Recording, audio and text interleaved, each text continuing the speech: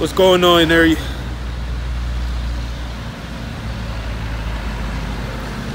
What's going on YouTube?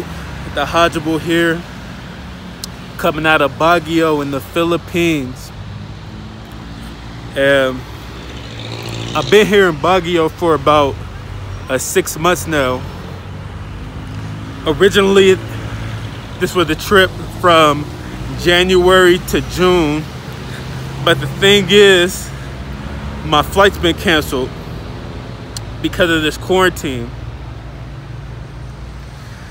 And also because of the quarantine, I'm stuck in Baguio. The issue with that is there's no airport here. And in order for me to get back to the United States, I gotta be able to leave Baguio. So right now I'm actually at the uh, I'm at the state capital, state capital, province capital. I'm at the city hall in Baguio, and I'm gonna see if I can get some type of meeting with somebody, get some information about at least getting to Manila. That way I'll feel comfortable with buying a plane ticket so I can get back to the United States. You know, none of us knew all this quarantine stuff was gonna happen. And you know, it put everything on pause. It's kind of inconvenient, but it is what it is. Some type of park here. That's the state capitol behind me. Park. I don't know why there's garbage on the ground. Maybe somebody took it all out of that can. But other than that garbage, it's a very nice park. It's like 10 more minutes until until City Hall opens. I woke up early just to come here because I know a lot, a lot of people have things that they need to ask the government right now. I just want to, I just want to get some answers, you know, so I can know what to do uh, moving forward. It would be, it would be nice to leave the Philippines. You know, I don't have to. I'm not really in a bad position, but I don't like, I don't like being stuck here. In Baguio alone, I've been here for like three months just in the apartment.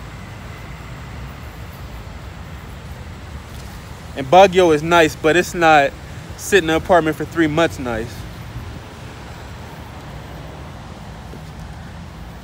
The park is beautiful this morning. Looks like the city crest.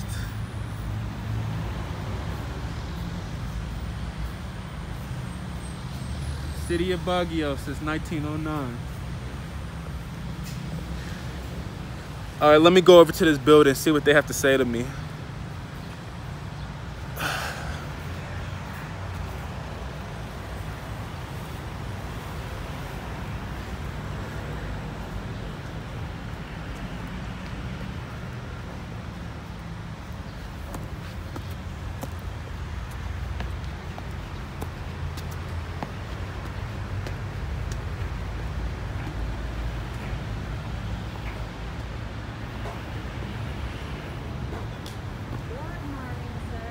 Good morning.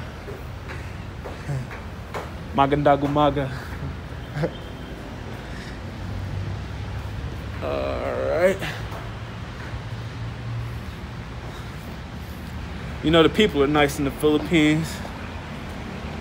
Always have something to say. Very easy to talk to. For the most part, they're nice. And what did I say? The place is not even open yet and it's already a bunch of people outside lined up. So looks like i'm gonna be getting in line. It's kind of hot too but gotta do what i gotta do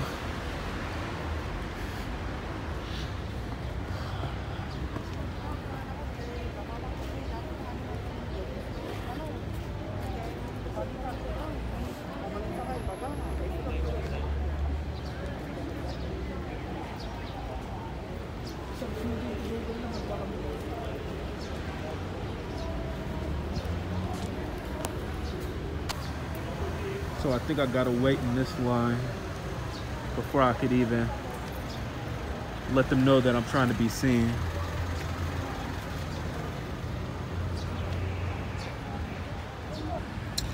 Well, I spoke to somebody and got information, but it's not really useful. Uh, basically, they're saying that for me to leave this city, I have to uh, come back with the form. Uh, the form is online. It's a like a health declaration form. I have to uh, come with the health declaration form and I will be able to leave Baguio. But the thing is, I have to provide my own transportation from here in Baguio, you know, all the way to Manila. So I guess I would have to find some type of private car to be able to go there.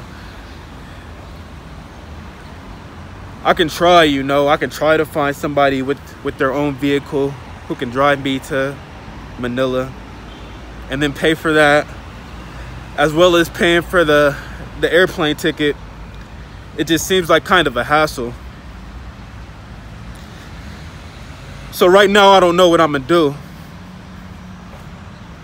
You know I, I would like to be able to you know go back to the states my brother he has his graduation and his birthday a lot of stuff like that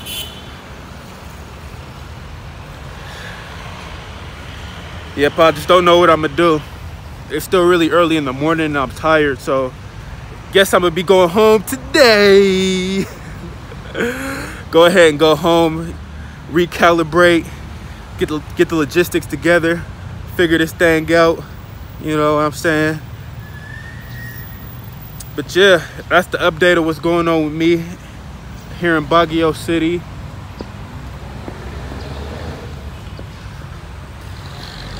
uh, to be honest, it's a little, it's a little, it's a little bum. It's a little, like bumming.